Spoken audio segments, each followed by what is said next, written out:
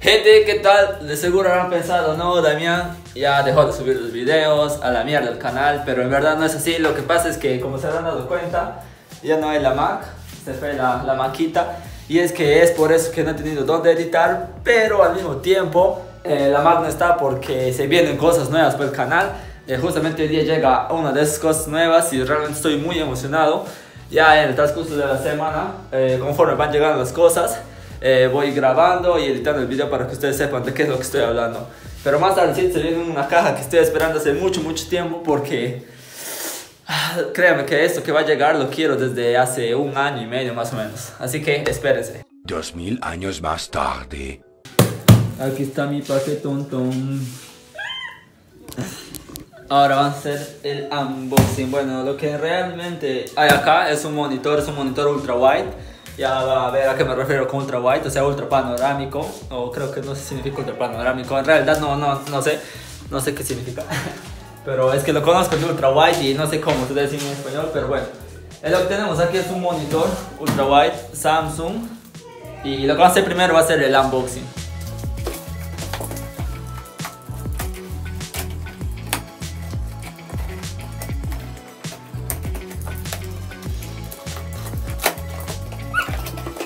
Eh, no sabía si lo iba a abrir bien o por el lado equivocado o por el lado correcto, pero bueno, aquí está donde se va a sentar. Supongo que esto es para la carga, o sea, para lo que va la corriente, esto eh, donde se va a parar, un cable HDMI, un CD, la guía que ya todos sabemos que viene con los productos. Y aquí está.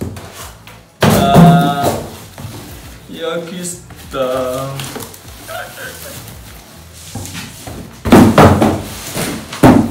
Y aquí está. Por fin, aquí está.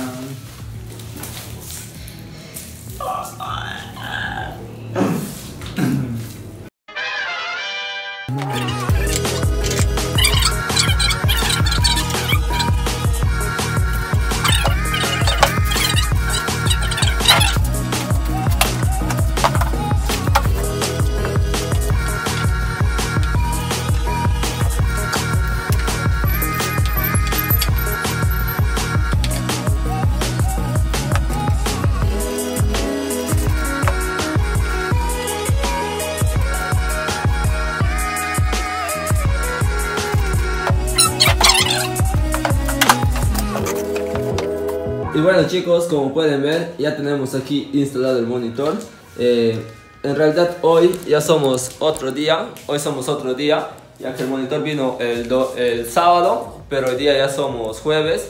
Y básicamente he esperado estos 5 días porque he querido probar el monitor, ya que así puedo darles una mejor opinión acerca de mi experiencia con este monitor y si es para lo que yo necesito o no sé. Pero bueno, ahí pueden verlo. Ahorita el monitor está conectado a la laptop, ya que no tengo una PC. Y quería aprovechar al mismo tiempo para darles algunas especificaciones físicas, ya que no pude hacer eso en el video pasado. Así que aquí les voy a mostrar un poquito más a detalle lo que es este monitor. Aquí volteado el monitor y pueden fijarse que el monitor aquí tiene dos entradas HDMI. Esta es la que ya está conectada acá a la laptop. Y también tiene una entrada bueno, que es la entrada por donde se va a ir a conectar a la corriente, una entrada para la energía eléctrica. Y aquí una entrada muy importante que es la entrada para los auriculares, como pueden ver aquí tengo un auricular de 3.5 que es normalmente como se ve para los celulares. Y bueno, aquí, aquí está la entrada. Pienso que esta es una de las cosas más importantes que hay que saber, ya que este monitor eh, no tiene parlantes integrados, no es como una televisión, o sea, no es como un televisor, ya que los televisores, como bien sabemos, en la parte de atrás tiene algo como, como parlantes que sirven para nosotros oír y ver las películas y los programas que nosotros vemos. Ya, pero este monitor no, este monitor eh, al no tener estos parlantes, lo bueno es que al menos trae una entrada para que tú conectes unos parlantes externos o unos audífonos en caso los tengas por ahí. Otra cosita chévere que me ha gustado bastante es que bueno, aún no le saco el plástico porque todavía no va a ser aquí el setup. Como pueden ver, aquí está esto que va a ser para la nueva mesa. Pero una de las cosas bacanas es que eh, este monitor también trae uno gancho. Viene ya un gancho, uno de estos, para que tú puedas organizar bien los cables, lo pongas por detrás, así. Y de esta manera no se puede notar cuando lo tengas instalado. Claro que ahorita no se va a poder porque tengo que jalar con fuerza el cable para que se pueda acomodar bien pero como está ahí truncado etcétera etcétera no lo puedo acomodar bien. Pero cuando ya lo tienen bien instalado lo pueden acomodar perfectamente y va a quedar totalmente chévere. Sé que va a haber personas que van a querer tener medidas más exactas de este monitor ya que en la página de LG en su página del monitor dice que mide 27 centímetros, 8 de alto si no me equivoco y 61,8 eh, de largo pero yo aquí lo voy a medir con una wincha para que ustedes tengan unas medidas más exactas. Bueno aquí ya tenemos la wincha vamos a medir. Este monitor en realidad mide 61 centímetros de largo y 28 centímetros de alto, no, bueno, 27,8 centímetros de alto. Pero como se puede dar cuenta en realidad, eh, lindo sería que todo el monitor realmente sea la pantalla. Como pueden ver tenemos márgenes negros acá, márgenes negros acá, márgenes negros acá y acá. Lo cual nos quita eh, gran parte del espacio, pienso yo, porque al no haber estos márgenes negros, pienso que la pantalla sería aún más grande. Bueno, ese es un hecho. Bueno, siguiendo con la especificación del monitor. Eh, en mi caso, pude decir que este monitor está muy chévere. Realmente me encantó. Honestamente, pensé que iba a ser más pequeño. Bueno, de lejos se ve pequeño, pero una vez sentado acá, te das cuenta que sí es grande porque al principio es como que quieres verlo muy alejado, ya que eh, lo sientes muy grande, ¿no? Y piensas que tuvieras que tener tres ojos para así poder ver a ambos lados y el centro. Pero al cabo de una hora o media hora de haberlo usado un buen rato, eh, te acostumbras perfectamente, le vas entendiendo sus usos y, ya. Ahora, eh, sé que hay personas que le van a dar un uso diferente, eh, ya que este monitor también es para gaming. Y sé que, sé que va a haber personas que lo van a usar para gaming, personas simplemente para que lo usen para sus documentos, para navegación por internet, para ver películas o tal vez para edición de video, que es mi caso, porque eh, dense cuenta acá, tengo abierto el programa de edición, estoy editando este video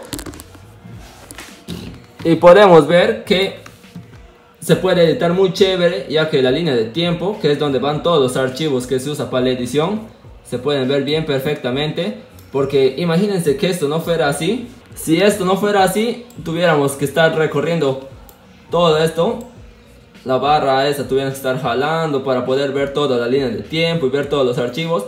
Pero hacer un monitor ultra wide tenemos suficiente espacio para poder editar chévere y también poder ver la previsualización aquí por ejemplo eh, ya podemos ver eh, el video que estamos editando y cómo es sin editar algo así. Los que usan Premiere ya saben cómo es el uso de este programa. Y bueno básicamente eso. Para lo que es gaming es muy chévere ya que al ser un monitor amplio largo ultra wide eh, al jugar juegos de shooting por ejemplo es el único juego que yo juego que es un juego que se llama Warface que es juego de disparos eh, puedo ver más amplio el espacio de juego y así puedo ver si los enemigos están viniendo más por la derecha o más por la izquierda, etcétera, comparación de un monitor de 16 novenos como este. Cabe recalcar que es un monitor de 21 novenos y es un monitor de 16 novenos, que es lo que normalmente se, se ve. Ya les expliqué eso un poco al principio. Y para lo que es apartado de películas, eh, también es muy chévere, ya que sé que hay muchas personas que al ver en el cine una película se dan cuenta que unas franjas negras arriba y abajo como la imagen de acá más o menos. Voy a tratar de poner un video acá. Ya, al tener un monitor así, lo bueno es que los márgenes de arriba, los negros de arriba en este tipo de películas desaparecen y solamente aparece la imagen. Pero al entrar a páginas como YouTube, el video te saliera de una manera un poco recortada vuelta a los costados, como es el caso de acá. Pero son cosas que tienen de bueno y de malo. Eh, bueno, no quisiera aburrirles más con el video, eh, solamente quería decirles que gracias, estoy de vuelta aquí en el canal. Necesitaba que llegue este monitor para editar porque honestamente editar en el monitor de la laptop me sería un poco, no sé, tedioso, un poco fastidio ya que es un monitor muy pequeño y para edición siempre me gusta tener un amplio espacio de trabajo para poder ver bien la previsualización y la línea de tiempo. Así que pienso que está bien. Eh, hasta aquí el video del monitor. No se olviden que si les gustó, si les fue útil, eh, dejarme un buen like. Ah, me estaba olvidando también que el monitor me ha costado 200 dólares, que es más o menos 650, 660 soles, que es la moneda que se usa en mi país. Es un monitor muy chévere, realmente se vale la pena, vale lo que cuesta. Eh, como pueden ver es ultra wide, queda muy bonito además, ya que no es un, un tamaño como normalmente se ve.